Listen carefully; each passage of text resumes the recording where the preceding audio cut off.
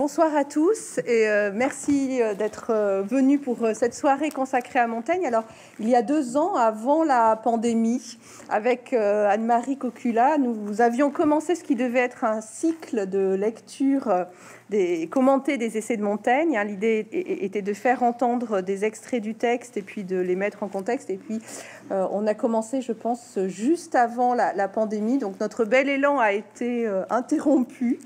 Et euh, voilà, c'est un, c'est un, un, plaisir de pouvoir ce soir euh, revenir à, la librairie Mola et reprendre euh, le cours de ces lectures.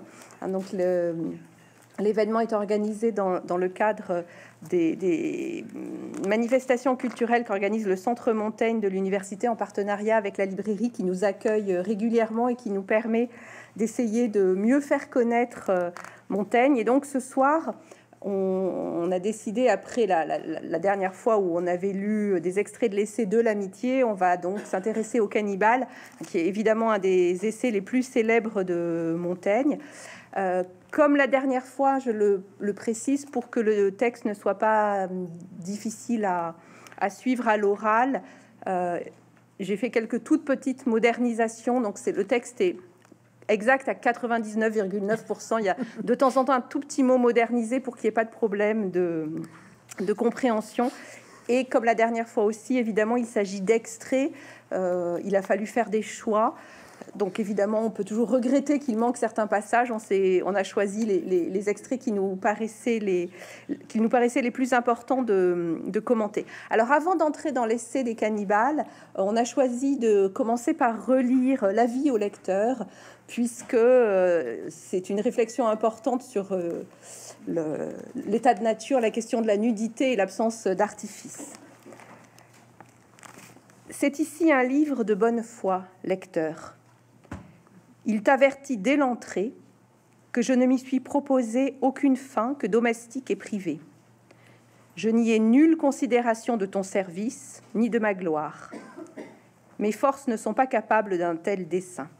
Je l'ai voué à la commodité particulière de mes parents et amis, à ce que, m'ayant perdu, ce qu'ils ont à faire bientôt, ils y puissent retrouver aucun trait de mes conditions et humeurs, et que par ce moyen, ils nourrissent plus entière et plus vive la connaissance qu'ils ont eue de moi. Si c'eût été pour rechercher la faveur du monde, je me fusse paré de beautés empruntées. Je veux qu'on m'y voie en ma façon simple, naturelle et ordinaire, sans étude et artifice, car c'est moi que je peins. Mes défauts s'ils iront au vif, mes imperfections et ma forme naïve, autant que la révérence publique me l'a permis. Que si j'eusse été parmi ces nations qu'on dit vivre encore sous la douce liberté des premières lois de nature, je t'assure que je m'y fusse très volontiers peint tout entier et tout nu. Ainsi, lecteur, je suis moi-même la matière de mon livre. Ce n'est pas raison que tu emploies ton loisir en un sujet si frivole et si vain. Adieu donc de Montaigne, ce 1er de mars 1580. Ben, simplement pour euh, d'abord pour vous saluer toutes et tous, pour vous remercier d'être là et pour signaler que ce, ce chapitre des cannibales qui appartient au livre 1 des essais est écrit par Montaigne euh, avant 1580, puisqu'il est publié en 1580 à Bordeaux chez Simon Milange, libraire imprimeur. Euh, donc, on date la rédaction de ce chapitre que l'on va vous présenter aujourd'hui dans les années 1576, 77, 78, en tout cas avant 1580. Euh, c'est une, c'est une certitude. Ce que l'on vient de vous lire, ce que Violaine vient de lire, eh bien, cet avis au lecteur va rester inchangé. Et moi, j'ai souhaité effectivement que soit repris cette idée très volontiers, peint tout entier et tout nu. On est déjà en quelque sorte dans cette approche euh, des premières lois de nature euh, dont nous allons parler. Je signalerai simplement en référence à notre collègue et ami André Tournon, disparu il y a peu de temps, qu'il trouvait lui le titre provoquant, le titre des cannibales provoquant. Et quand on lit, bien évidemment, ce chapitre, il faut forcément le raccorder avec celui qu'il écrira plus tard, le chapitre des coches. Ce qu'on peut ajouter aussi, peut-être avant de commencer la lecture, c'est que c'est un chapitre que Montaigne a très peu retouché. Très peu. Très peu retouché sur le fond. Il l'a retouché sur la forme, très peu sur le fond. Et il a dû effectivement l'écrire euh, assez tard par rapport à la rédaction des essais jusqu'au dernier moment, Dernier moment. hein, puisqu'en fait dans les, les sources possibles, il y en a qui, qui datent de 1579, donc entre c'est difficile hein, toujours de savoir puisqu'il a commencé tôt. En tout cas, il l'a écrit jusqu'au dernier moment et après il l'a très peu retouché, Mhm. ce qui est quand même euh, une, une singularité aussi hein, des textes de Montaigne. Ça veut dire qu'il était arrivé au moment de l'écriture déjà à un avis assez ferme. Il y a peu d'ajouts, il n'y a pas, de- pas comme, euh, comme dans d'autres chapitres, et c'est quand même assez remarquable, ce qui veut dire que ça, voilà, la- sa pensée sur le sujet, euh, effectivement, il y a, enfin voilà, il y a une sorte de miroir inversé dans des coches, mais cet essai-là, il le retouche, Il le il le retouche retouche peu, hein, ce qui est assez remarquable. Alors, le, l'essai s'ouvre hein, sur une réflexion sur la notion de, de barbarie, et on va commencer par un court passage qui est le tout début. Quand le roi Pyrrhus passa en Italie, après qu'il eut reconnu l'ordonnance de l'armée que les Romains lui envoyaient au devant. Je ne sais, dit-il, quels barbares sont ceux-ci, mais la disposition de cette armée que je vois n'est aucunement barbare. Autant en dire les Grecs de celle que Flaminius fit passer en leur pays, et Philippus, voyant d'un tertre l'ordre et distribution du camp romain en son royaume. Voilà comment il se faut garder de s'attacher aux opinions vulgaires et les faut juger par la voie de la raison, non par la voie commune. Le terme essentiel, euh, par la voie de la raison. On y reviendra euh, dans le chapitre. et, non par la voie commune hein, immédiatement. euh, ça rejoint peut-être ce qu'on disait à l'instant sur le, degré d'achèvement de l'essai. Voilà, Montaigne euh, est dans un chapitre euh, qu'il a réfléchi. Euh, et ce, court passage hein, permet de, poser le thème essentiel qui est celui de la relativité de la barbarie, mais en fait immédiatement, enfin, l'essai dévie un peu, il ne reviendra au sujet de la barbarie que plus tard.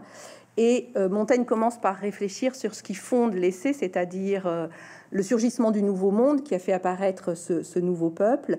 Donc on ne lira pas ici parce que c'était trop long, un passage dans lequel Montaigne évoque euh, le mythe de l'Atlantide. hein. Euh, en plus, ça n'est pas euh, original, ce rapprochement, enfin ce questionnement sur le, nouveau monde et l'Atlantide, les mondes qui surgissent, les mondes qui disparaissent, on le trouve chez d'autres que Montaigne. hein. Mais ce qui est intéressant peut-être dans, ce passage que, l'on saute, c'est que Montaigne euh, réfléchit justement pour euh, arriver à la conclusion que ce monde qui a surgi est bien un monde nouveau et n'est pas euh, le monde ancien. Et surtout, cette évocation de l'Atlantide disparue lui sert à méditer sur les changements rapides qui affectent euh, la Terre elle-même, et même plus particulièrement sa Terre, hein, sa région et, celle où vit son frère.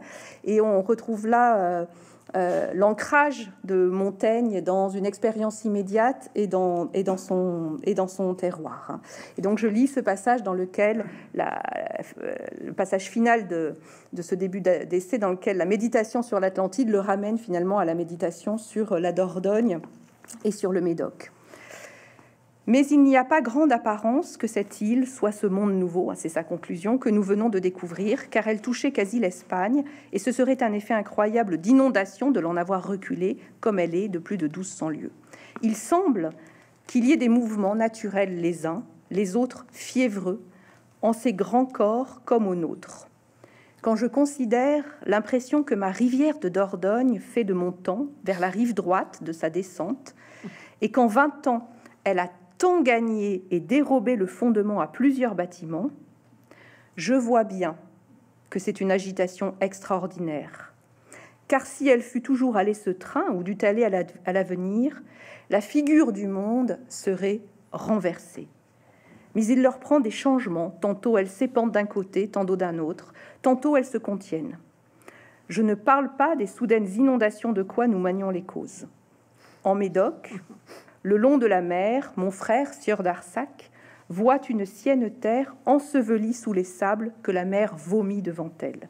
Le fait de quelques bâtiments paraît encore. Ces rentes et domaines se sont échangés en packages bien maigres. Les habitants disent que depuis quelque temps, la mer se pousse si fort vers eux qu'ils ont perdu quatre lieues de terre. Ces sables sont ses fourriers, et voyons de grandes montjoies d'arènes mouvantes qui marchent d'une demi-lieue devant elles et gagnent pays. Alors là, ça mérite un, commentaire. D'abord, il y a deux aspects. D'abord, euh, ma rivière de Dordogne. Ça n'est pas moi qui parle, c'est Montaigne. Et euh, c'est l'idée, en quelque sorte, qu'il voit ce, là où il habite, euh, c'est-à-dire à proximité de la motte Montravel, qui jouxte la rivière de Dordogne, dans la maison forte héritée de son père en 1568. Il se trouve effectivement sur la rive droite, et la rive droite, elle, elle c'est une rive qui va, qui bouge, qui se transforme, d'autant plus que c'est souvent une rive concave. Et dans les grands méandres, bien évidemment, la rive concave creuse et la rive convexe alluvionne. Alors, il voit cela bouger et il le voit en 20 ans. Euh, c'est presque normal ce changement s'agissant de la rivière, d'autant plus que on se trouve sur le plan climatique euh, quand il écrit à partir des années 1570, on va dire, on se trouve dans ce que les historiens appellent le petit âge glaciaire. Un petit âge glaciaire, c'est-à-dire un âge qui est lié à un, refroidissement du climat, et à partir de ce refroidissement du climat, davantage de, tempêtes, davantage de tempêtes océaniques. Et vous le savez, euh, on se trouve à un moment jusqu'au niveau de Castillon, le moment où se fait sentir l'influence des marées. Euh, et à, partir de ce moment-là, eh bien, il, voit se dérober les fondements de plusieurs bâtiments. Ça, c'est de son côté, c'est ce qu'il vit. C'est ce qui peut aussi parfois le contrarier. Ne jamais oublier que Montaigne est un seigneur et que Montaigne est un bon ménager de sa seigneurie. Par contre, par contre, s'agissant du Médoc, là, c'est un peu plus compliqué, un peu plus drôle et un peu plus ironique de sa part. Mon frère, c'est vrai, il s'agit de son frère cadet. Je vous rappelle qu'il est l'aîné de sa famille, même si à la naissance il était le troisième, mais les deux enfants qu'il précédait sont morts. Nous ne savons pas si c'était une fille, un garçon, et il est donc l'aîné, mais par substitution. Et euh, voilà que ce frère cadet, alors sieur d'Arsac, pourquoi? Eh bien parce qu'il a épousé, il a épousé la fille de son de la femme de son ami Étienne de la Boétie puisque Madame de la Boétie était Marguerite d'Arsac. Elle avait été mariée au chevalier d'Arsac. Elle avait eu deux enfants. Le chevalier, euh, un fils et une fille. Et c'est sa fille qui s'est mariée avec le frère de Montaigne. Entre Montaigne et Thomas d'Arsac, ça n'est pas, euh, je dirais, un amour fraternel infini. Et c'est au contraire une forme de jalousie une forme de jalousie vis-à-vis de ce frère. Euh, et c'est le regard qu'il porte sur l'idée que finalement les terres du Médoc sont envahies par les sables, que la verre vomit devant elle, que le fait de quelques toits de bâtiments paraît encore, mais vont bien évidemment disparaître, que les rentes et domaines sont des packages qui vont plus rien rapporter. Et à partir de ce moment-là, on est un peu dans ces réflexions euh, euh, légèrement ironiques de Montaigne à l'égard de sa fratrie, avec laquelle il ne s'entend pas toujours très bien, sauf avec son frère cadet, un autre de ses frères cadets, Pierre de la Brousse, qu'il va protéger, et sauf avec le, petit, le petit dernier, en quelque sorte, qui a 27 ans de moins que lui, et qui sera en quelque sorte un peu son fils. C'est avec lui qu'il ira en Italie. Donc, je trouve très intéressant dans ces notations, j'allais dire géographiques, le regard qu'il porte sur la nature, le regard qu'il porte sur des éléments familiers et c'est vraiment une citation qu'il faut retenir quand on étudie euh, justement le changement des paysages. Et on se trouve là à une époque où le flot, euh, on assiste quand même à une élévation du niveau de la mer. Hein. On est toujours à une élévation du niveau de la mer, donc ça n'est pas étonnant. Et je vous rappelle, mais vous le savez, que euh, à Soulac, Notre-Dame de la fin des terres est restée envahie sous le sable jusqu'au moment où de pieux fidèles sont allés, en quelque sorte, l'extraire du sable à la fin du 19e siècle. Voilà. Oui, et on, peut euh, souligner hein, par rapport à cette observation des paysages, Anne-Marie, euh, sur laquelle vous insistez, que le, vocabulaire de la vue est, très présent dans, ce, passage. Et il est important parce que non seulement Montaigne médite sur la capacité du monde à changer, ce qui fait que bon, ce surgissement d'un nouveau monde, soit parce qu'il n'était pas là et qu'il est apparu, soit parce qu'en fait on, l'ignorait, n'est pas surprenant. Euh, mais il y a aussi, c'est important pour la suite, euh, la mise en scène du témoignage par les yeux. Et contrairement à ce qu'on dit souvent, euh, Montaigne n'est pas forcément ici en, rupture avec son temps parce que la, science de la Renaissance est une science de l'observation. Ce qu'on dit peu, on a toujours l'impression que c'est une science du livre. Or, un thème qui revient tout le temps chez les savants et chez les voyageurs, c'est l'autopsie au sens étymologique, le fait de voir soi-même. Et ce passage sur euh, ses propres terres et celle de son frère, on, peut, se réjouit peut-être un peu que son frère laisse sa fortune, mais en tout cas c'est important parce que c'est aussi ce qui va lui permettre dans la suite du texte de développer euh, sa, vision du nouveau monde en, la fondant sur le témoignage de gens qui y sont aller. Voilà. Donc l'importance de la, de la vue hein, qui apparaît dès ce premier passage euh, est, quelque chose qu'il faut euh, souligner. Alors dans, dans la suite du, du texte, hein, Montaigne justement s'interroge sur la transmission du savoir, la qualité de, cette transmission du savoir et la façon dont on s'informe. il critique la propension des lettrés à livrer, à, être incapable pardon, de livrer un témoignage brut et puis à se laisser emporter par la glose et à distordre le, témoignage. Et donc, vous voyez que ce passage sur ses propres terres de Dordogne et celle de son frère hein, prépare en fait une réflexion qu'on peut qualifier d'épistémologique, je pense, sur euh, l'importance de vraiment du témoignage brut et de, de voir les choses par soi-même. Et donc, c'est un passage où il critique les cosmographes. On peut y voir un petit coup de griffe contre certains voyageurs de son temps, comme André Tevet, qui sont accusés d'avoir euh, un peu euh, fabulé. Hein. Et puis, il évoque le fait que justement, tout ce qu'il va raconter sur euh, cette terre nouvelle du Brésil et sur ces cannibales, il le fonde sur le témoignage d'un homme de ces gens qui y est allé, qui est un homme simple et grossier, dit-il, et donc qui n'est pas tenté par les joies de l'esprit de, voilà de distordre son, témoignage. Hein. Et alors on peut peut-être juste dire avant de lire le texte que, comme toujours, il faut se méfier de ce que dit Montaigne, parce que quand on compare le texte avec les récits de voyage, on voit qu'il a lu très attentivement tous ces cosmographes dont il dit qu'il ne faut pas leur faire confiance. Il les a lus, oui, puis il les emprunte. Voilà. Mais bon, on les porte. Mais dans la lignée de ses propres observations sur la rivière de Dordogne, hein, il est important qu'il dise fonder son témoignage sur celui de cet homme qui est allé là-bas au Nouveau Monde voir les choses. Or, je trouve, pour revenir à mon propos, qu'il n'y a rien de barbare et de sauvage en cette nation, à ce qu'on m'en a rapporté, sinon que chacun appelle barbarie ce qui n'est pas de son usage. Comme de vrai, il semble que nous n'avons autre mire de la vérité et de la raison que l'exemple et idée des opinions et usances du pays où nous sommes. Là est toujours la parfaite religion, la parfaite police, parfait et accompli usage de toutes choses. Ils sont sauvages, de même que nous appelons sauvages les fruits que nature, de soi et de son progrès ordinaire, a produits. Là où, à la vérité, ce sont eux que nous avons altérés par notre artifice et détournés de l'ordre commun, que nous devrions appeler plutôt sauvages. En cela sont vives et vigoureuses les vrais et plus utiles et naturelles vertus et propriétés, lesquelles nous avons abattardis en ceci et les avons seulement accommodés au plaisir de notre goût corrompu.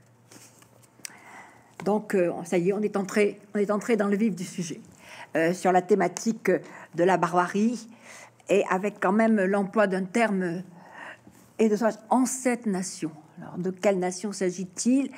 Là, très rapidement, un, petit historique pour le, pour le resituer avant d'aller un peu plus avant tout à l'heure.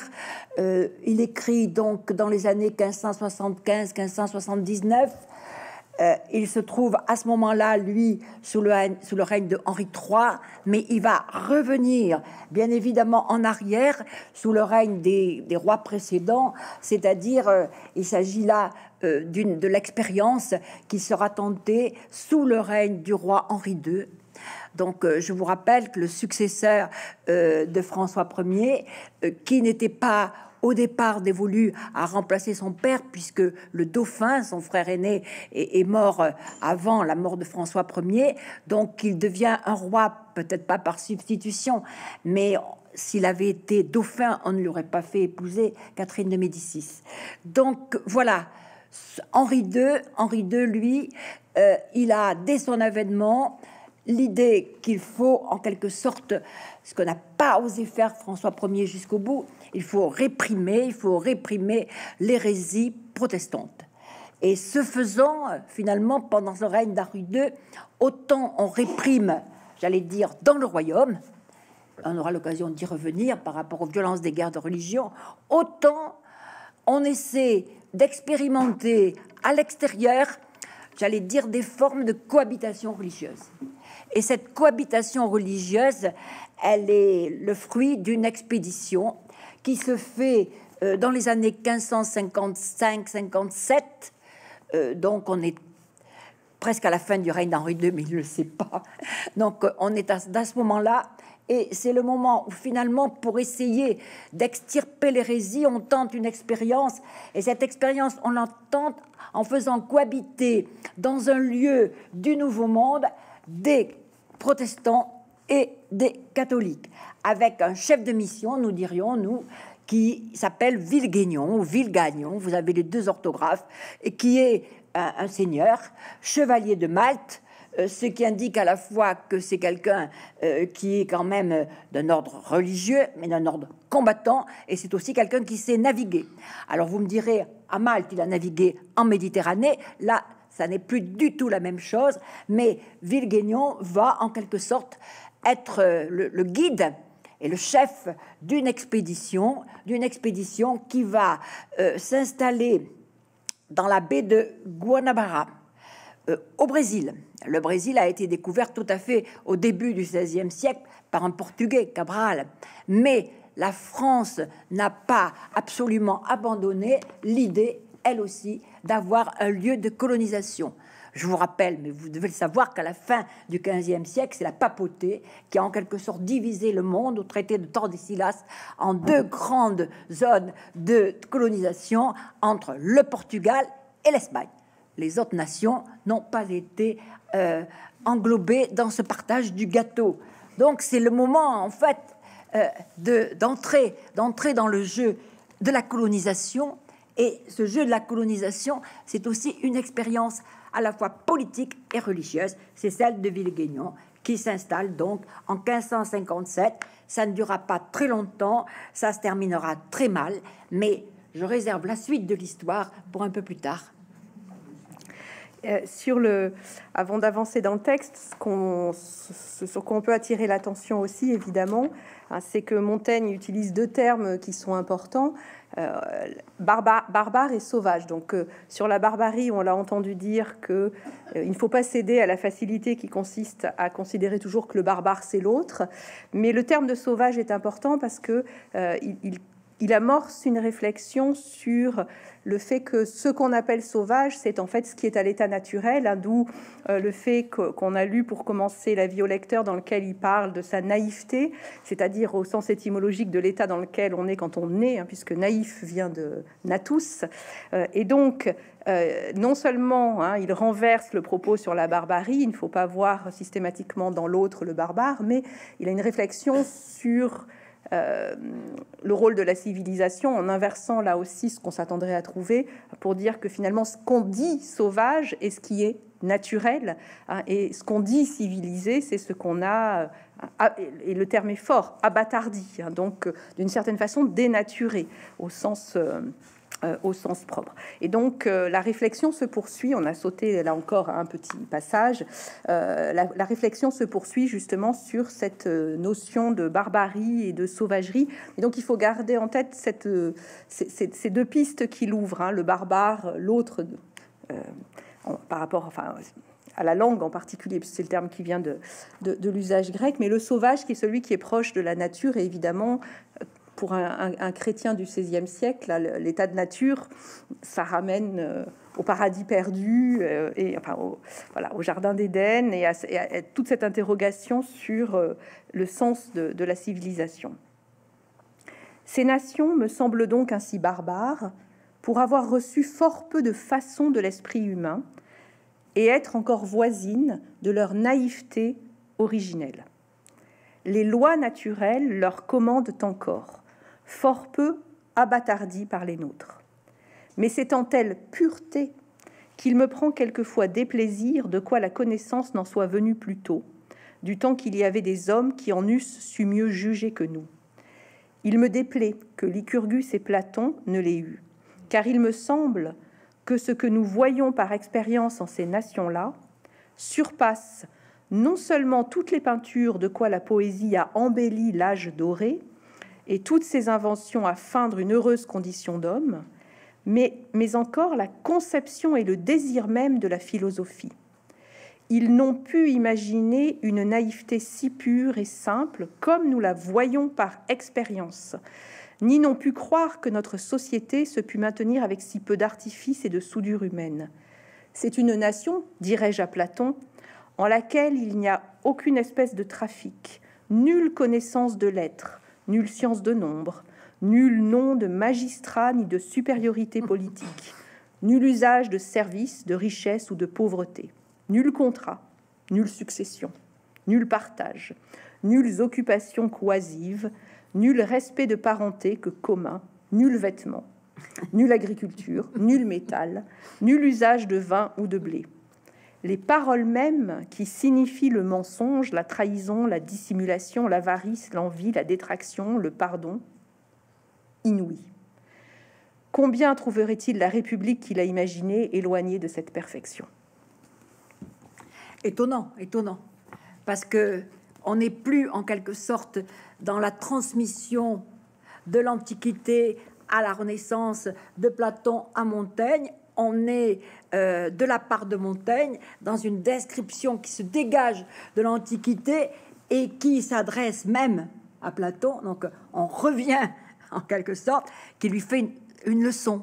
Et cette leçon, elle est en quelque sorte fondée euh, sur ce, sur ce paragraphe, sur la fin de ce paragraphe que Violaine a, très bien détaillé euh, et qui en fait n'est pas la description de ce monde idéal des indigènes euh, de la baie de Guanabara, mais tout simplement finalement ce qu'il vit, ce qu'il a vécu à Bordeaux, ce qu'il vit dans le royaume. C'est bien évidemment la société et j'allais dire aussi l'économie de son temps.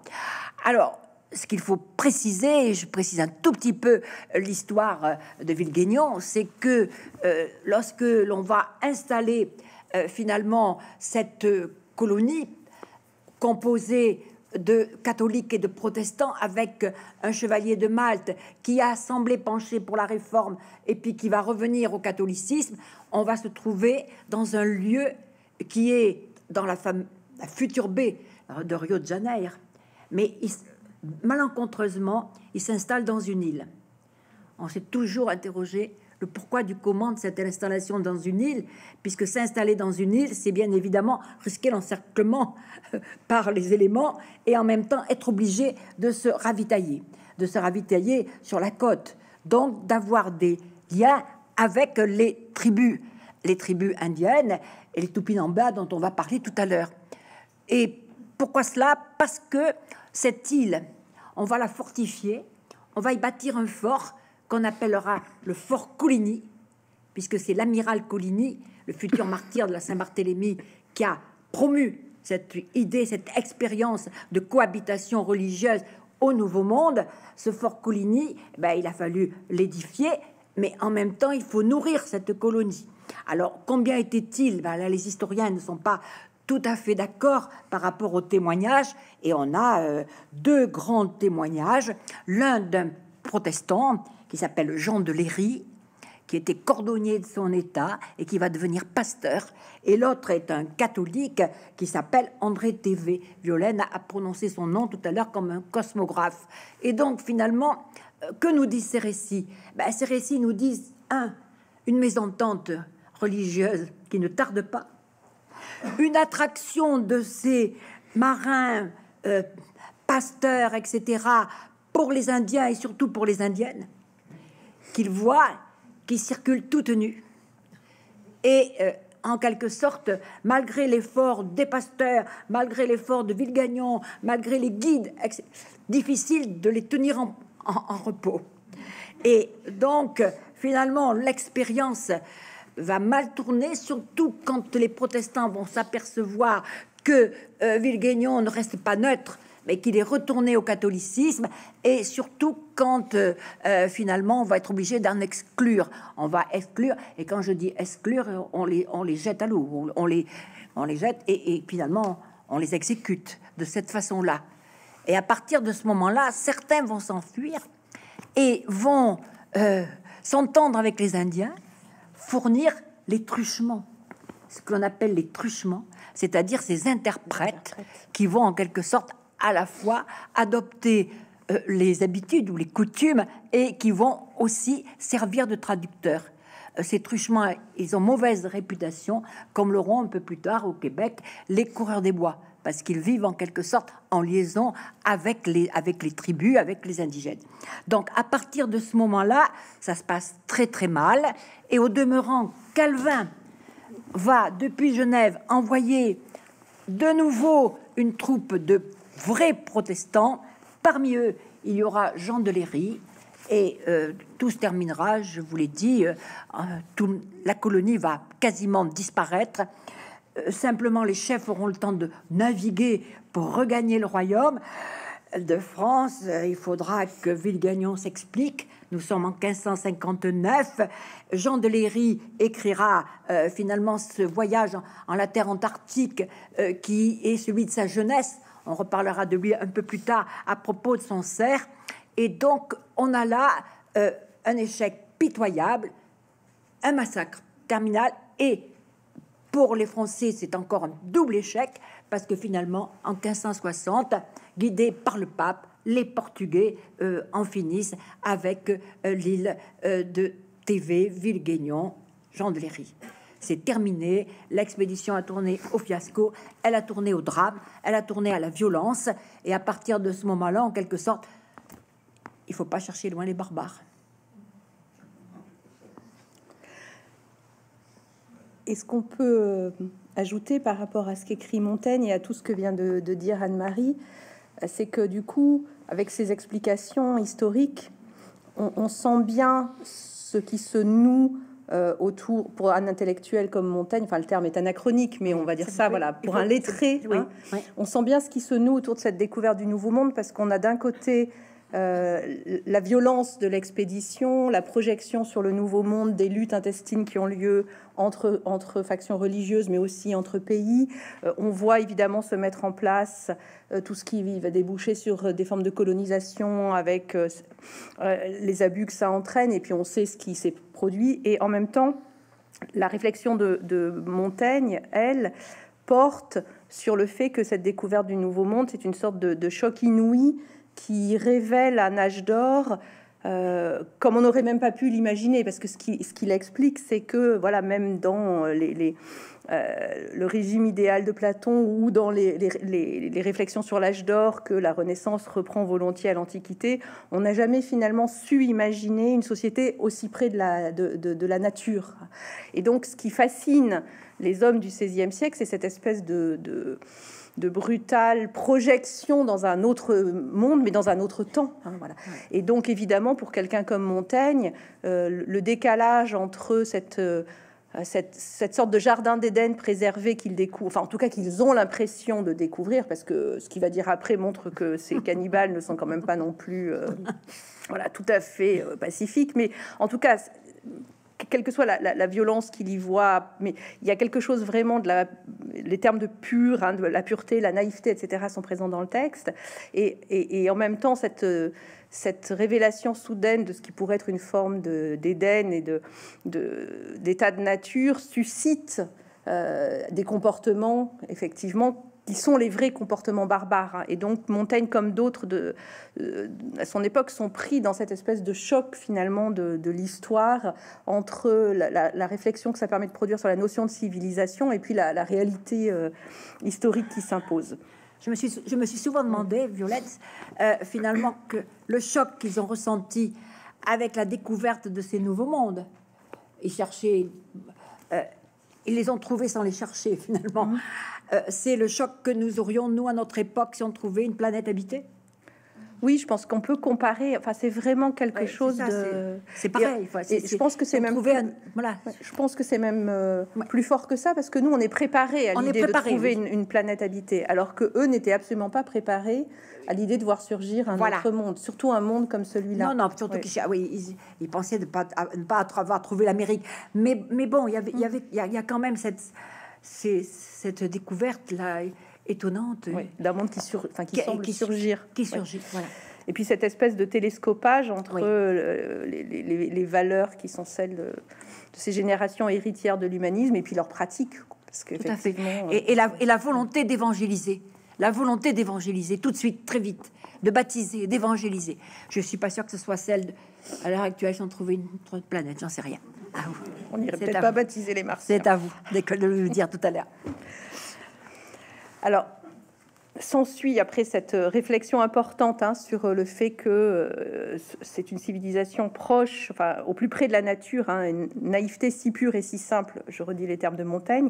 Donc vient ensuite dans l'essai la description justement de ce peuple et de sa façon de vivre. Au demeurant, ils vivent en une contrée de pays très plaisante et bien tempérée. De façon qu'à ce qu'on m'en dit mes témoins, il est rare d'y voir un homme malade. Et m'ont as- et m'ont assuré, pardon, m'ont assuré n'y en avoir vu aucun tremblant, chassieux, édenté ou courbé de vieillesse. Ils sont assis le long de la mer, euh, c'est en fait les villages, hein, Les villages. le long de la mer, euh, et fermés de- du côté de la terre de grandes et hautes montagnes, ayant entre deux cent lieues ou environ d'étendue en large. Ils ont grande abondance de poissons et de chair qui n'ont aucune ressemblance aux nôtres, et les mangent sans autre artifice que de les cuire. Le premier qui y mena un cheval, quoiqu'il les eût pratiqués à plusieurs autres voyages, leur fit tant d'horreur en cette assiette qu'ils le tuèrent à coups de trait avant que le pouvoir reconnaître. Leurs bâtiments sont fort longs et capables de deux ou trois cents âmes, étoffés d'écorces de grands arbres, tenant à terre par un bout et se soutenant et appuyant l'un contre l'autre par le fait, à la mode de quelques-unes de nos granges, desquelles la couverture pend jusque à terre et sert, de flanc. Ils ont du bois si dur qu'ils en coupent et en font leurs épées et des grilles à cuire leur viande. Leurs lits sont d'un tissu de coton, suspendus contre le toit, comme ceux de nos navires, à chacun le sien, car les femmes couchent à part des maris. Ils se lèvent avec le soleil et mangent soudain après s'être levés pour toute la journée, car ils ne font autre repas que celui-là. Ils ne boivent pas l'or, comme Suidas dit de quelques autres peuples d'Orient qui buvaient hors du manger. Ils boivent à plusieurs fois sur jour et d'autant. Leur breuvage est fait de quelques racines et est de couleur de nos vins clairés. Ils ne le boivent que tiède. Ce breuvage ne se conserve que deux ou trois jours. Il a le goût un peu piquant, nullement fumeux, salutaire à l'estomac et laxatif à ceux qui ne l'ont accoutumé. C'est une boisson très agréable à qui y est duit. Au lieu du pain, ils usent d'une certaine matière blanche, comme du coriandre confit. J'en ai tâté, le goût en est doux et un peu fade. Toute la journée se passe à danser. Les plus jeunes vont à la chasse des bêtes avec des arcs. Une partie des femmes s'amuse cependant à chauffer leur breuvage, qui est leur principal office. Ils ont je ne sais quels prêtres et prophètes qui se présentent bien rarement au peuple, ayant leurs demeures aux montagnes. À leur arrivée, il se fait une grande fête et assemblée solennelle de plusieurs villages. Ce prophète parle à eux en public, les exhortant à la vertu et à leur devoir. Mais toute leur science éthique ne contient que ces deux articles, de la résolution à la guerre et affection à leurs femmes. Cet huici leur pronostique les choses à venir et les événements qu'ils doivent espérer de leurs entreprises, les achemine ou détourne de la guerre, mais c'est à telle condition que, où il faut à bien deviner, et s'il leur advient autrement qu'il ne leur est prédit, il est taché en mille pièces s'il l'attrape et condamné comme faux prophète. À cette cause, celui qui s'est une fois mécompté, on ne le voit plus. C'est don de Dieu que la divination. Voilà pourquoi ce devrait être une imposture punissable d'en abuser. Bien, donc euh, c'est l'idéal. Euh, c'est l'idéal et euh, il faut quand même percer cette idée que Montaigne, comment a-t-il appris tout cela? Alors on va le savoir à la fin du texte. Mais il est très important de voir que, avant de nous donner ces sources, avant de nous donner ses sources, il, évoque finalement le plaisir que lui a pris à boire. Il donne finalement son sentiment. Et alors euh, là, il faut peut-être faire très très rapidement un compte rendu en se disant qu'au moment où il écrit 1570, 1575 ou 1580, euh, on a beaucoup, on a une très grosse documentation sur la vie, les conditions de vie des tribus indiennes, soit finalement au Pérou, soit plutôt au Brésil, soit du côté de, l'Amérique espagnole. Et on sait notamment que euh, Las Casas, euh, qui finalement publie son réquisitoire contre la colonisation espagnole, c'est au milieu du XVIe siècle. Donc Montaigne n'est pas précurseur. Montaigne n'est pas précurseur, mais Montaigne, si on se réfère à la raison dont on a parlé tout à l'heure, est quelqu'un qui a, si j'ose dire, puisqu'on va parler des cannibales, a digéré il a assimilé, il a compris et il a fait en quelque sorte le choix, euh, on l'a bien vu dans, dans, tout le début du texte, de nous faire un récit d'une vie naturelle. Et c'est très intéressant parce que dans bien des aspects qu'ils nous donnent, de la façon dont ils habitent, euh, de la façon dont ils vivent, de leurs, habits, etc., de ce qu'ils boivent, on, retrouve finalement bien des aspects de ce qu'on a pu trouver, nous, aux époques antérieures, c'est-à-dire celles qui précèdent l'époque médiévale. Donc il y a quand même une, façon, en quelque sorte, de chercher à établir un parallèle à cet égard. Alors reste, reste, et c'est un chapitre, c'est un paragraphe très intéressant, c'est euh, la façon dont entre en scène la religion, la façon dont entre en scène la religion sous la forme, les mots qu'il emploie, des prêtres. Prêtres, oui, c'est à prendre dans un sens qui dépasse bien évidemment le catholicisme et les prophètes. Et là, je crois qu'il faut, on le verra un peu plus tout à l'heure, montrer quelle est la distance. Et là, il me semble que c'est objectivement une très grande particularité de Montaigne, la distance qu'il veut prendre dans ses récits par rapport à une omniprésence du clergé, quel qu'il soit, le, les clergés catholiques et les pasteurs protestants puisque je vous ai décrit l'expérience de ce qui s'est passé avec les riz et avec TV et Villeguignon, euh, en fait, leur colonie, elle a été, si j'ose dire, envahie et de, et de prêtres et de et pasteurs. Et ça, c'est très, très mal terminé. Alors, qu'envisage Montaigne? Et ça, je crois qu'il faut vraiment le dire et le redire. Lui, il veut que ce clergé, tel qu'il le décrit, soit tenu à distance, qui se présente bien rarement au peuple, ayant leur demeure aux montagnes, donc en quelque sorte une hauteur et euh, finalement la plaine où, vivent les, fidèles, que l'on voit grande fête, assemblée solennelle de plusieurs villages, mais euh, ça s'arrête là. Mais s'il pronostique des choses qui ne vont pas bien, eh bien, euh, ça tournera assez mal pour lui. C'est le retour aux sources de ce qui était au départ le corps pastoral euh, des premiers réformés, c'est-à-dire finalement la possibilité de récuser, j'ose dire, les mauvais pasteurs. Et là, euh, Montaigne, lui, euh, se méfie se méfie, et je pense que c'est presque une forme d'actualité de le dire ici, ne faire confiance, finalement, ne pas faire confiance à ceux qui prophétisent, à ceux qui racontent, mais ne se fonder que sur sa raison. Et à partir de ce moment-là, en quelque sorte, laisser à Dieu, à distance, ce qui ne peut être qu'une vraie divination, puisqu'elle vient de Dieu. Alors, à l'époque où il écrit, il s'est passé le phénomène terrible de la Saint-Barthélemy.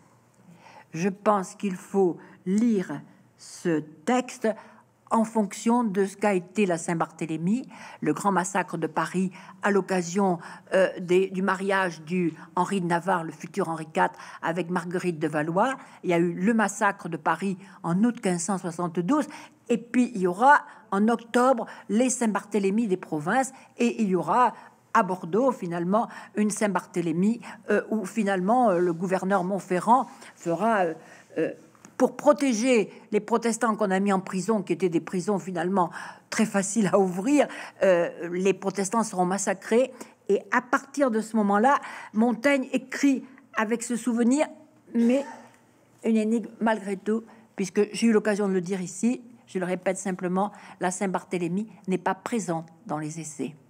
Il ne fait pas mention du massacre de la Saint-Barthélemy. À mon avis, il est quasiment le seul des écrivains ou lettrés euh, du XVIe siècle à la laisser en dehors. Alors il y a deux solutions. Euh, c'était la première solution, c'était celle de Gérald Nakam, qui avait travaillé sur les événements des essais. Elle disait, il ne peut pas parler de la Saint-Barthélemy, puisque la Saint-Barthélemy, ce sont les essais. Il n'aurait pas écrit les essais s'il n'y avait pas eu, en quelque sorte, cette tragédie motrice, si j'ose dire, qui va lancer en écriture. Et puis, il y a ceux qui pensent que finalement, tout ce qu'il a pu écrire ou dire sur la Saint-Barthélemy, notamment dans, dans son agenda qu'on appelle le Beuter, dans ses éphémérides, mais quand on s'aperçoit, il y a deux, trois pages arrachées, on s'est dit ce qu'il avait écrit. Il a arraché les pages. Donc, euh, ce ne sont que des hypothèses. Mais ces hypothèses-là, elles nous conduisent à ce que j'appellerais en quelque sorte, c'est ce que je voudrais bien faire comprendre, cette distance qu'il entend opérer entre le fidèle, quel qu'il soit, quelle que soit sa religion, et celui qui est en quelque sorte en charge de servir la religion, le prêtre, le pasteur. Oui, pour euh, euh, raccrocher la, lettre, enfin souligner la, lettre de la fin du texte avec ce que dit Anne-Marie, hein, j'attire votre attention sur le fait que cette description des prophètes qu'il observe dans le Nouveau Monde le conduit à une conclusion qui porte sur son monde à lui, hein, puisque euh, le passage tel qu'on l'a découpé s'arrête sur un, constat universel, mais qui concerne en fait sa propre civilisation, avec un, passage au conditionnel, hein, c'est don de Dieu que la divination, voilà pourquoi ce devrait être une, imposture punissable d'en abuser. Évidemment, là, le propos ne porte pas sur ce qu'il vient d'observer chez les cannibales, mais il se sert de ce qu'il a observé hein, sur le rôle de ces, prophètes que l'on déchiquette quand ils se trompent pour euh, en, inférer une loi qu'on ferait bien d'appliquer à, notre civilisation. Euh, je voudrais juste aussi ajouter une chose quand il l'explique au début du texte que euh, ces, peuplades hein, qu'on dit barbares ou sauvages vivent en une contrée plaisante, tempérée, euh, dans laquelle on est rarement malade et où il n'y a pas de, vieillards. Euh, c'est très important parce que c'est exactement comme ça que sont décrit, enfin, qu'est décrit le Jardin d'Éden dans toute une littérature de la fin du XVIe siècle, où l'on on, a une enquête on a parfois, comment dire, une, approche très littérale de la question du jardin d'Éden. On cherche à savoir où il était localisé euh, sur la terre, et il y a des descriptions dans lesquelles on essaie d'expliquer comment il était possible que l'homme ne soit pas malade. Donc, il y a des théories qui s'appuient sur les, théories scientifiques pour expliquer qu'il n'y avait pas de saison, donc il fait toujours juste chaud, ni trop chaud, ni trop froid, ni trop sec, ni trop humide. Les fruits donnent en abondance, etc. Et donc, effectivement, hein, il est difficile de savoir si Montaigne projette sur sa vision du Brésil des choses qu'il a lues à son époque dans des évocations du, Jardin d'Éden, ou s'il croit retrouver, enfin c'est un mélange des deux, hein, dans euh, ce pays où on peut vivre tout nu, ce qui fait qu'évidemment, et effectivement c'est toujours tempéré, où hein, euh, euh, André Tevet le dit, il n'y a pas besoin de se fatiguer à travailler, les fruits, les arbres donnent en abondance, donc on tend la main, hop, on, cueille à manger, etc. Et donc effectivement, ce qu'on découvre hein, correspond en tout cas semble correspondre aux évocations du Jardin d'Éden telles qu'on les trouve dans les, dans les, dans les livres. Donc c'est une sorte aussi de, ah, de, merveilleuse récompense finalement que sur surgissement du Nouveau Monde. Alors le passage suivant euh, va décrire, on avance petit à petit vers euh, la pratique cannibale proprement dite qui donne son nom à l'essai et s'intéresse à la question de la guerre hein, telle qu'elle est pratiquée par les nations brésiliennes. Ils ont leur guerre contre les nations qui sont au-delà de leurs montagnes, plus avant à la terre ferme, auxquelles ils vont tout nus, n'ayant autres armes que des arcs ou des épées de bois appointées par un bout, à la mode des langues de nos épieux. Ces choses émerveillables que de la fermeté de leur combat, qui ne finissent jamais que par meurtre et effusion de sang. Car de déroutes et d'effrois, ils ne savent que c'est. Chacun rapporte pour son trophée la tête de l'ennemi qu'il a tué, et l'attache à l'entrée de son logis. Après avoir longtemps bien traité leurs prisonniers et de toutes les commodités dont ils se peuvent aviser, celui qui en est le maître fait une grande assemblée de ses connaissances. Il attache une corde à l'un des bras du prisonnier, par le bout de laquelle il le tient éloigné de quelques pas, de peur d'en être offensé, c'est-à-dire blessé, et donne au plus cher de ses amis l'autre bras à tenir de même. Et eux deux, en présence de toute l'assemblée, l'assomment à coups d'épée. Cela fait, ils le rôtissent et en mangent en commun et en envoient des lopins à ceux de leurs amis qui sont absents. Lopins morceaux. Oui. Ce n'est pas comme on pense pour s'en nourrir, ainsi que faisaient anciennement les Scythes. C'est pour représenter une extrême vengeance. Et qu'il soit ainsi, ayant aperçu que les Portugais qui s'étaient ralliés à leurs adversaires usaient d'une autre sorte de mort contre eux quand ils les prenaient, qui était de les enterrer jusqu'à la ceinture et tirer au demeurant du corps force coups de trait et les pendre après, ils pensèrent que ces gens-ci de l'autre monde, comme ceux qui avaient semé la connaissance de beaucoup de vices parmi leur voisinage, et qui étaient beaucoup plus grands maîtres qu'eux en toutes sortes de malices, ne prenaient pas sans occasion, c'est-à-dire sans raison, hein, cette sorte de vengeance, et qu'elle devait être plus aigre que la leur, et commencèrent de quitter leur façon ancienne pour suivre celle-ci. Je ne suis pas Marie que nous remarquions l'horreur barbaresque qu'il y a en une telle action mais oui bien de quoi, jugeant bien de leur faute, nous soyons si aveuglés au nôtre. Je pense qu'il y a plus de barbarie à manger un homme vivant qu'à le manger mort, à déchirer par tourment et par géhenne un corps encore plein de sentiments, le faire rôtir par le menu, le faire mordre et meurtrir aux chiens et aux pourceaux, comme nous l'avons non seulement lu, mais vu de fraîche mémoire, non entre des ennemis anciens, mais entre des voisins et concitoyens, équipisés, sous prétexte de piété et de religion. Tout cela est donc un pire que de le rôtir et manger après qu'il ait trépassé. Voilà, nous y sommes. Nous y sommes, donc euh, je ne vois pas essentiellement beaucoup de commentaires à faire. Euh, sinon, euh, d'en venir un peu au passage suivant, où nous allons en quelque sorte, si j'ose dire, détailler ou rappeler euh, les formes de, cannibalisme propres propre, au XVIe siècle.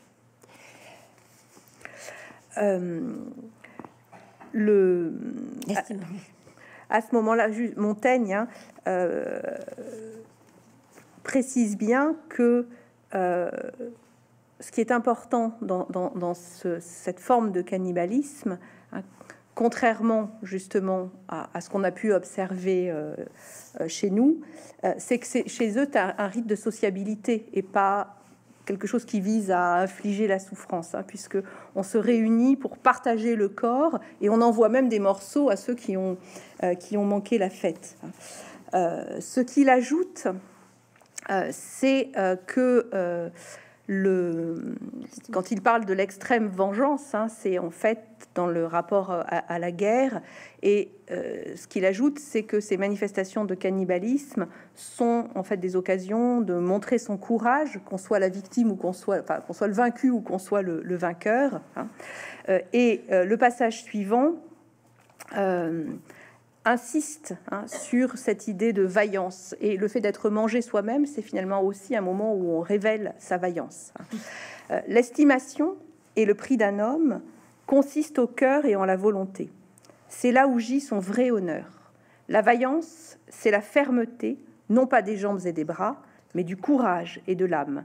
Elle ne consiste pas en la valeur de notre cheval ni de nos armes, mais en la nôtre. Qui, pour quelque danger de la mort voisine, ne relâche aucun point de son assurance, qui regarde encore en rendant l'âme son ennemi d'une vue ferme et dédaigneuse, il est battu, non pas de nous, mais de fortune il est tué, non pas vaincu. Les plus vaillants sont parfois les plus infortunés.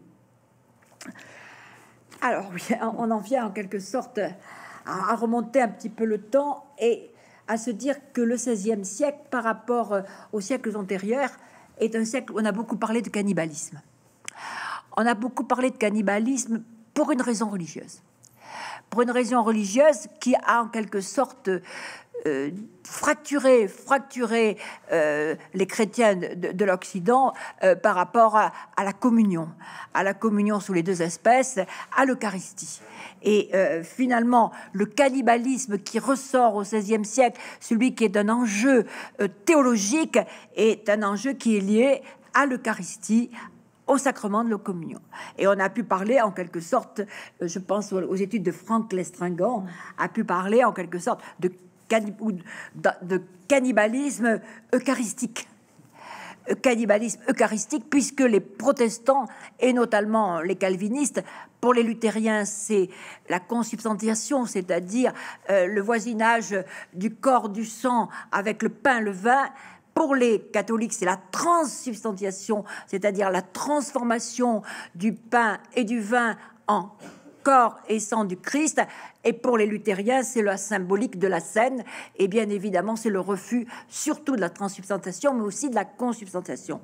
Et à partir de ce moment-là, cette symbolique euh, de l'Eucharistie euh, par rapport à ce cannibalisme de manger euh, le Christ en mangeant l'hostie et surtout le reproche que l'on fait au prêtre quand il rend l'hostie de déchirer finalement le corps du Christ, c'est à mon avis sur le plan euh, de la réconciliation possible l'obstacle principal. C'est l'obstacle principal.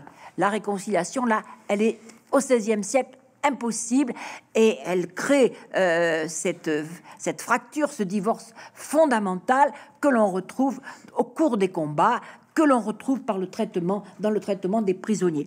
Alors, euh, ça, ce cannibalisme, on peut en parler de très longtemps. Il y a eu de très grandes études euh, là-dessus.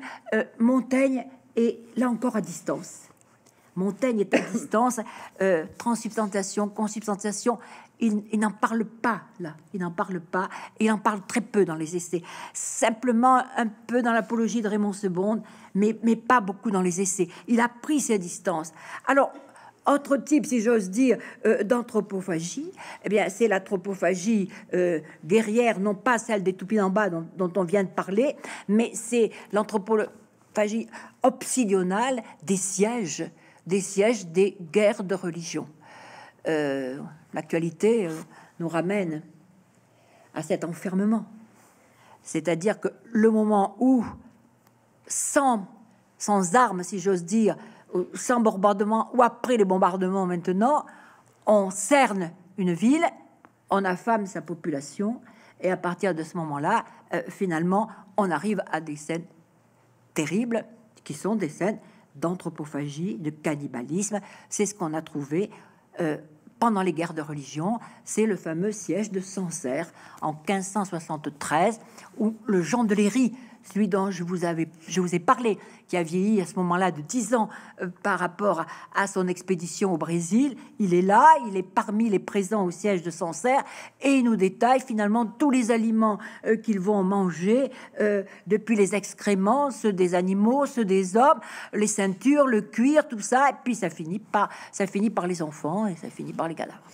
Donc, ce siège-là de Sancerre eh ben, a laissé, c'est un épisode effroyable, que l'on retrouvera dans d'autres circonstances pour répondre à cet instinct de, survie des affamés. Euh, voilà. Et alors, vous me direz, mais Sancerre, oui, mais il y a d'autres villes qui, elles, échappent à cela. C'est notamment, à la même époque, La Rochelle. La Rochelle est assiégée et finalement impossible finalement de cerner La Rochelle parce qu'elle a une partie maritime, parce qu'elle elle a des lieux où l'on peut aller, si j'ose dire, à la pêche au coquillage. Et à partir de ce moment-là, la ville va échapper à ce, à ce à ce drame, à cette tragédie épouvantable. Les, on a beaucoup étudié ça. Ce sont les fièvres obsidionales liées au siège, aux villes que l'on encercle. Et à partir, je vous laisse, je laisse je vous laisse continuer. Et, juste, hein, il y a cette image évidente. Alors, en fait, on comprend bien que ce qui est intéressant dans ces passages, c'est tout ce que Montaigne ne, dit pas et, auquel il fait allusion. Donc, euh, cette question religieuse, cette question des sièges, on peut voir aussi évidemment, bien sûr, dans sa dénonciation euh, de, l'aveuglement à ne pas voir nos fautes et dans cette évocation du cannibalisme, bah, les fameux massacres de la Saint-Barthélemy qui sont absents, puisqu'ils n'en parlent pas effectivement, enfin ceux de la Saint-Barthélemy ou ceux de toutes les guerres de religion. Mais bien sûr, hein, quand il dit que euh, il est finalement moins barbare de manger son ennemi au sens littéral que de le déchiqueter, donc finalement de le manger au sens euh, métaphorique, mais en fait de le, de le brûler, de le rôtir, alors voilà, sur un bûcher ou de lui faire subir la torture, etc.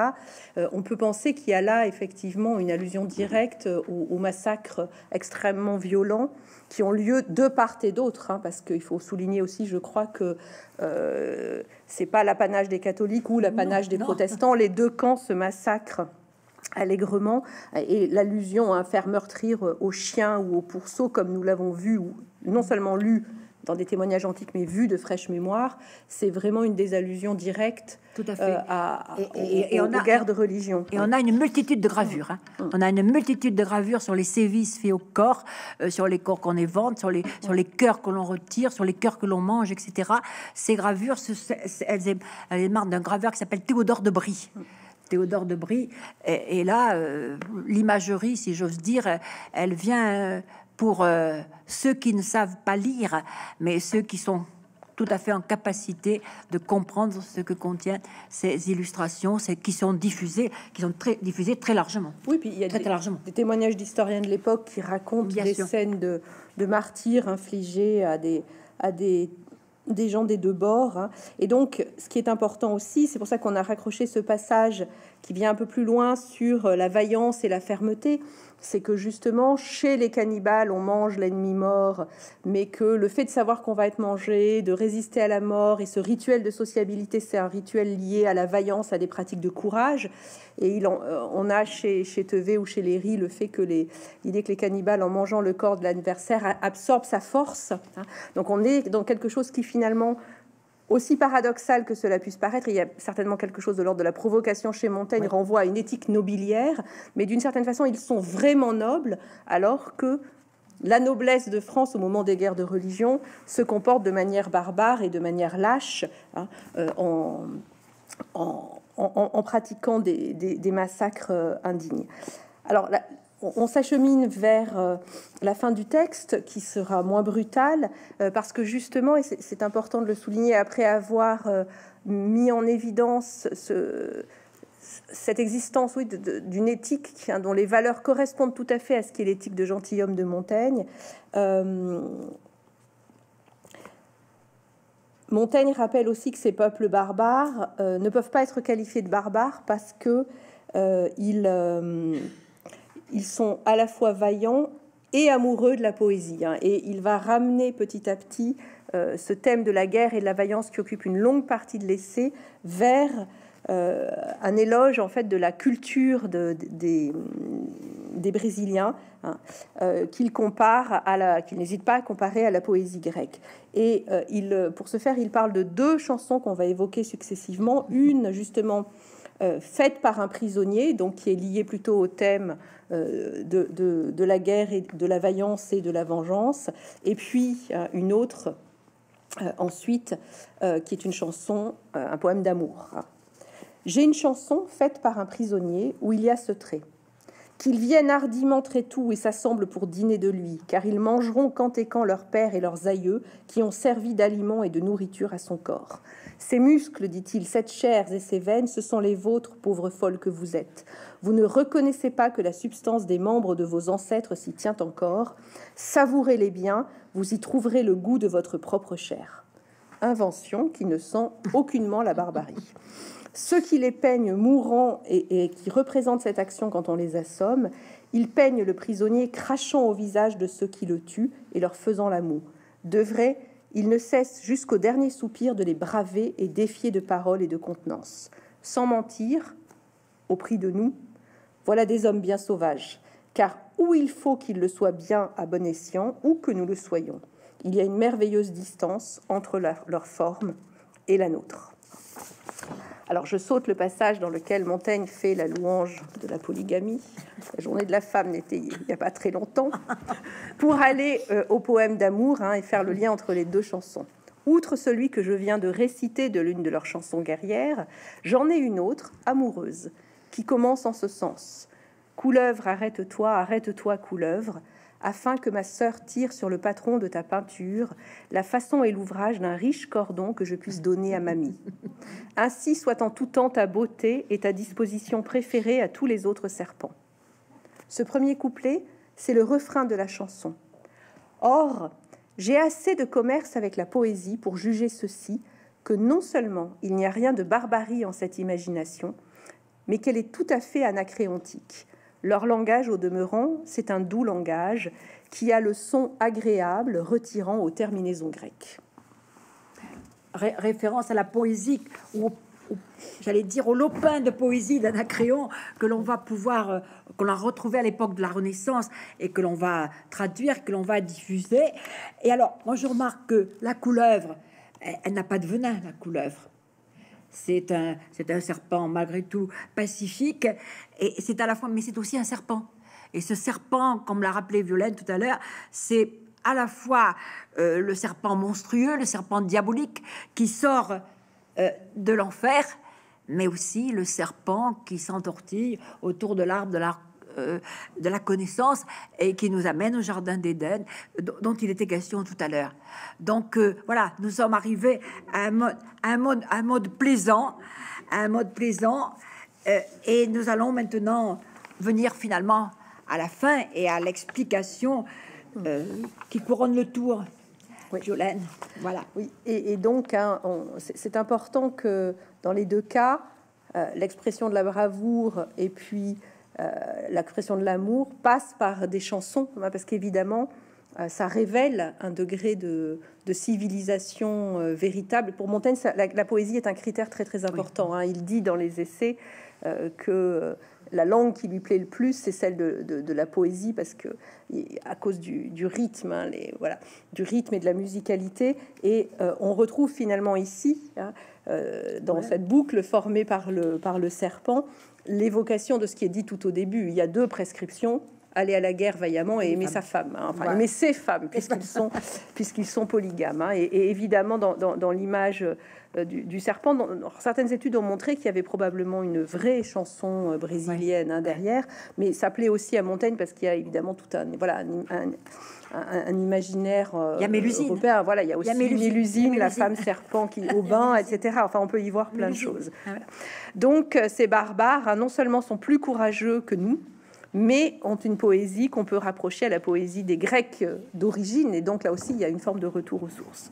Et donc on finit par le tout dernier passage, qui est le plus célèbre, hein, qui est la rencontre supposée ou fantasmée, on verra, avec de véritables cannibales, enfin, de, enfin Montaigne les appelle comme ça, de véritables Brésiliens venus en France.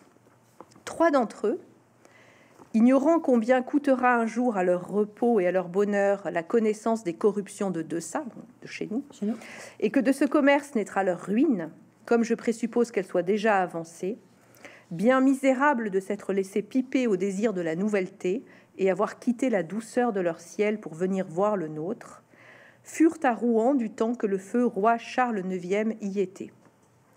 Le roi parla à eux longtemps on leur fit voir notre façon, notre pompe, la forme d'une belle ville. Après cela, quelqu'un demanda leur avis et voulut savoir d'eux ce qu'ils y avaient trouvé de plus admirable.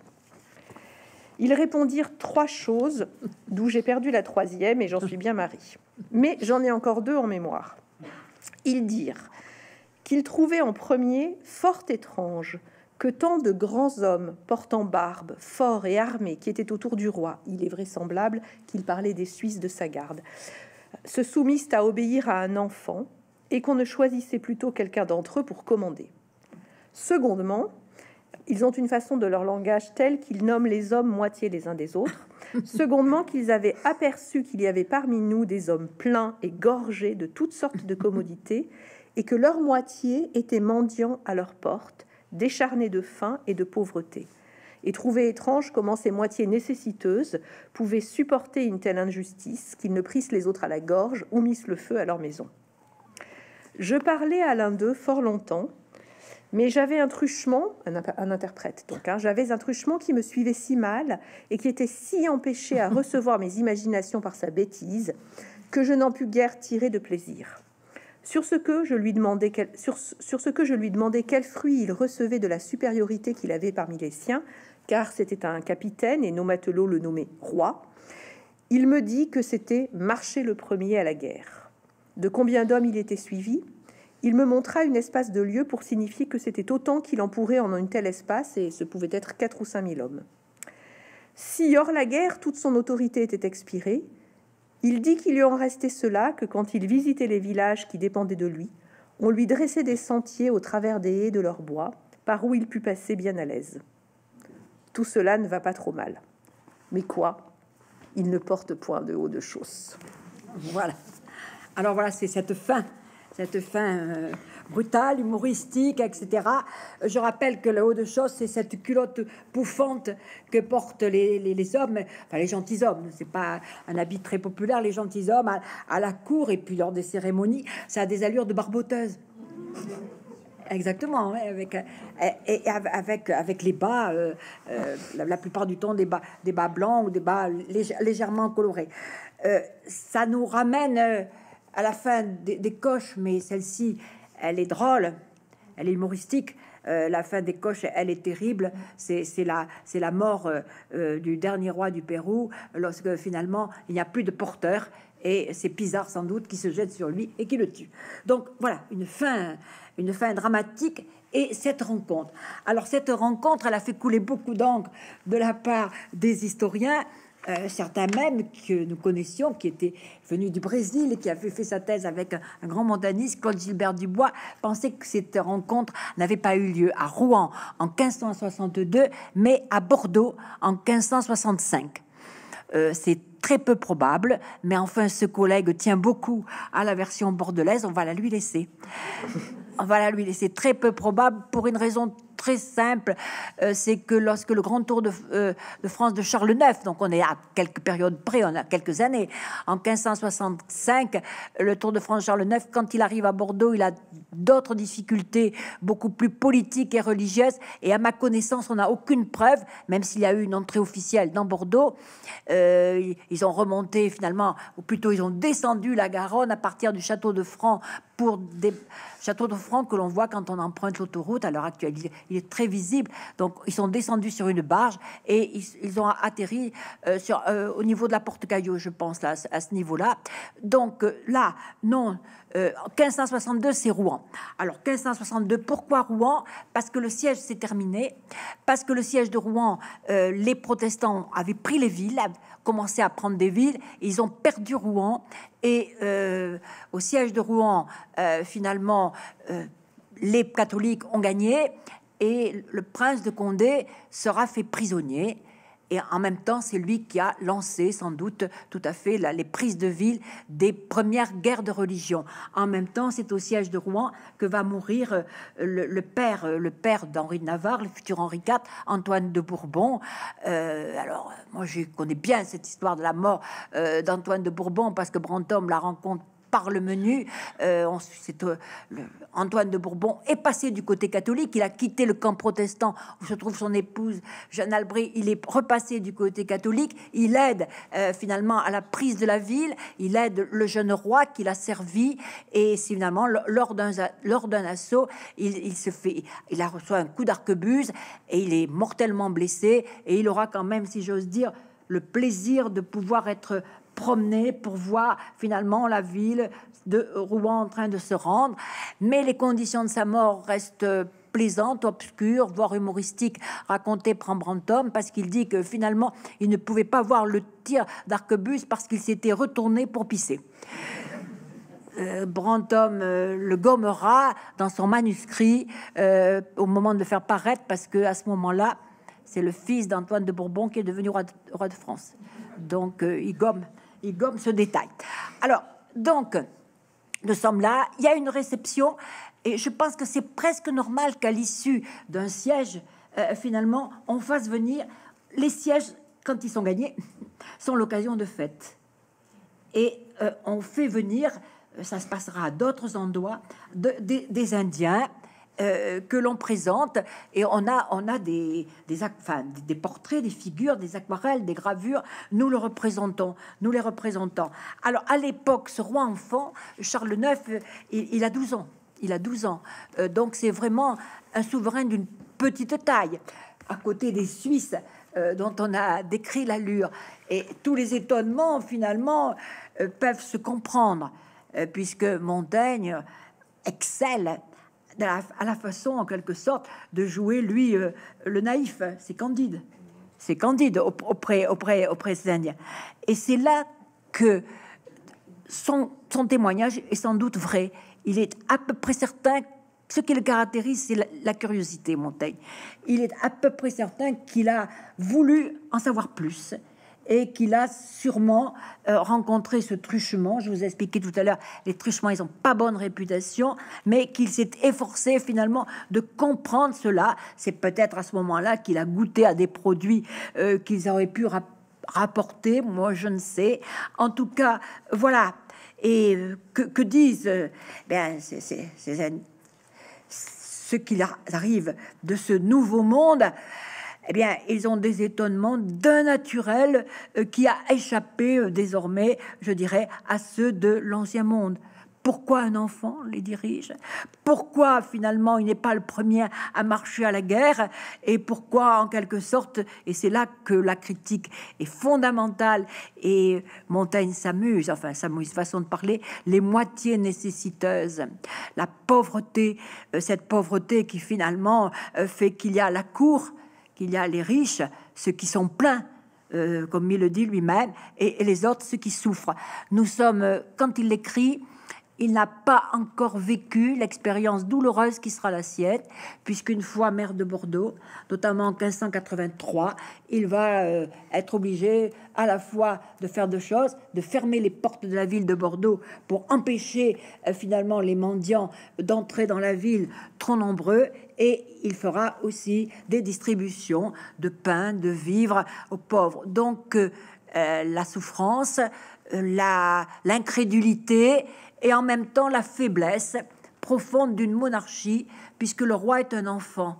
Alors cet enfant roi de 12 ans, pour l'émanciper le plus vite possible, la majorité des rois, elle était lorsqu'ils avaient euh, eu 14 ans révolus, c'est-à-dire après l'anniversaire de leurs 14 ans, Catherine de Médicis, qui avait de la suite dans les idées, elle va à Rouen euh, demander au Parlement de faire une forme de concession, c'est-à-dire de faire en sorte que son enfant, le petit Charles IX, ne soit pas majeur à 14 ans révolu, mais à 13 ans révolu.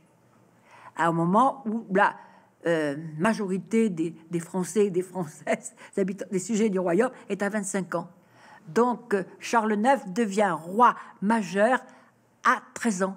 Et c'est nanti de cette majorité qu'il va pouvoir commencer le grand voyage qui va durer de 1564 à 1566 et où il y aura d'autres entrées avec ça et là des Indiens.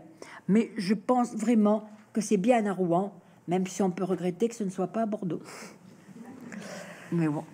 Et puis, euh, on peut aussi se dire que finalement l'endroit où, ça se passe n'est pas très important parce qu'il y a évidemment dans cette scène euh, une, dimension probablement enfin, fantasmée ou fictionnelle hein, qui, qu'il est évidemment difficile de, mesurer réellement, mais ces sauvages ont quand même exactement les réparties qui arrangent Montaigne, il faut bien le dire.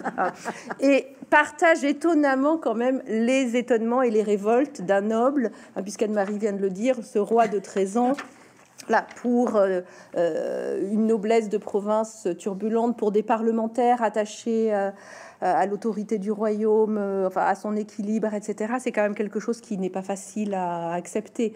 Euh, la question de la pauvreté, c'est aussi quelque chose qui, voilà, qui pour quelqu'un qui s'occupe de ses terres est difficile à accepter.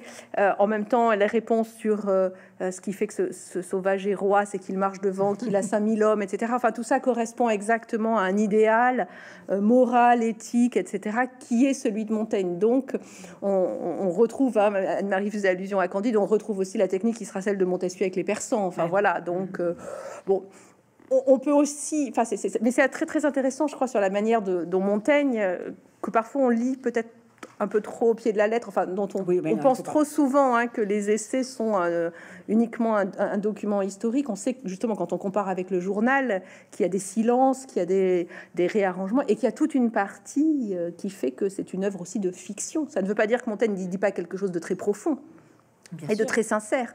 Mais ça pas, enfin cette scène-là, elle, elle, est quand même trop commode. En plus, on peut douter aussi qu'on ait laissé Montaigne tout seul parler très très longtemps avec les, avec les, avec les sauvages dans une cérémonie qui est nécessairement une cérémonie très codifiée. Voilà. Mais en tout cas, par contre, c'est un, un, passage merveilleux pour euh, l'écriture de Montaigne, enfin cette conclusion, voilà. Et nous, ce qu'on, la seule chose qu'on est capable de voir, c'est qu'ils n'ont point de haute chose, alors qu'ils incarnent toutes ces vertus que Montaigne rêve de de voir mises en œuvre dans la société de son temps. Alors moi, j'insisterai pour terminer sur, euh, j'insisterai pour terminer sur euh, par rapport aux écrits de son temps, euh, par rapport à, tous les témoignages. C'est, et nous, ça appellerait ça une version laïcisée je crois que c'est très mm. important parce que finalement, la responsabilité de ça, c'est pas Dieu, ce sont les hommes, c'est l'économie, euh, c'est la, grammaire sur le sens des mots, parce que Montaigne, euh, c'est euh, finalement le trafic, les échanges. donc finalement, tous sont responsables, les hommes de son temps, et bien évidemment, en quelque sorte, on quitte le domaine du trop religieux pour, aller vers ça. Et je crois que cette version-là explique le succès euh, relatif qu'il aura au XVIIe. C'est, on va dire, plus relatif parce que l'emprise de la religion est beaucoup plus forte au XVIIe siècle, mais ça explique en quelque sorte qu'il est nourri, Montaigne, que ces descriptions-là, euh, imaginaires, réelles, en fait, avec le mélange des deux, est nourri l'inspiration des philosophes du XVIIIe. Hmm. Parce qu'elles étaient elles étaient détachées en quelque sorte de ce combat euh, féroce qui se déroule durant les guerres civiles et tout compte fait de sa naissance 1533 à sa mort 1592, il a tout le temps vécu en guerre civile. Toujours parce que pour travailler en ce moment sur la période initiale, c'est-à-dire celle qui précède et qui suit ben, juste ses années de naissance, la région où il habite, elle, elle, est déjà en proie aux premières violences de la réforme, aux, premières crises, parce que la fameuse affaire des placards, c'est 1534 lorsque la version du cannibalisme eucharistique va se répandre dans le royaume, c'est dès l'affaire des placards en 1534, lorsqu'on affiche finalement sur la porte de la chambre de François Ier au château d'Amboise un écrit contre la messe profane cannibalique des catholiques. Donc, vous voyez, ça commence très tôt. Voilà. Merci. Merci à toutes et à tous.